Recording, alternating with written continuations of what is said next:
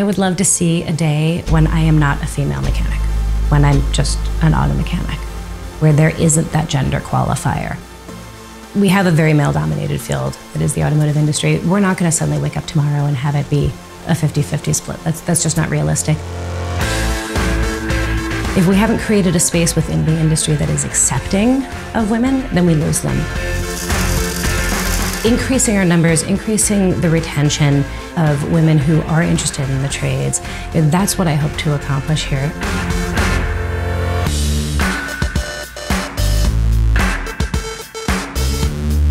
There's this connection and this magic that happens when women walk through these doors. We've always been a really big believer here that if you can dream it, you can build it you can make it. Girl Gang Garage is a teaching and learning space. We are focused on changing perceptions in terms of allowing more females into the automotive space and acknowledging the women who are already working within the space.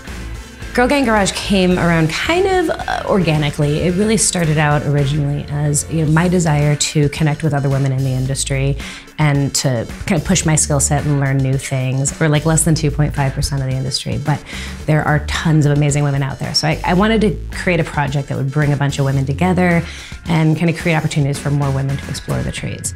First all female build was what we call the Chevy Montage, and it involved about 90 women from all across the country, about 23 different states. And they ranged in experience level from 20, 30 years of experience to I don't know what a ratchet is.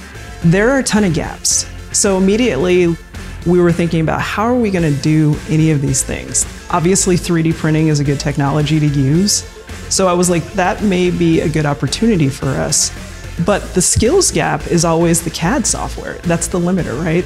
Autodesk is tackling that by creating tools like Fusion 360, which is making the world of additive manufacturing and CAD design accessible and removing those barriers of entry.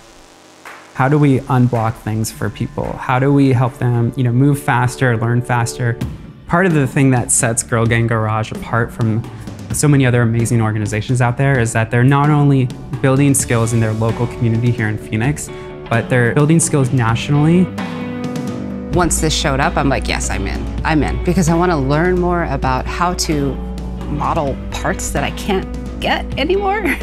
I thought, man, I always wish that I could learn something like this, but I never went a career path where it would have been available to me.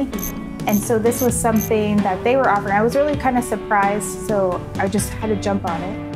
I was a little bit intimidated, but then I started looking at the software a little bit more, and it's incredibly user-friendly.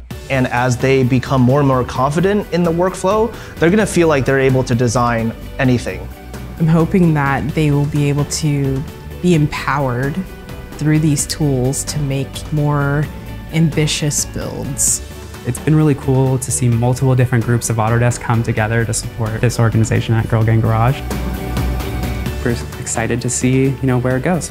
I think anything that you can do to step outside of your comfort zone and take a chance on learning something new is is the best thing that you can do.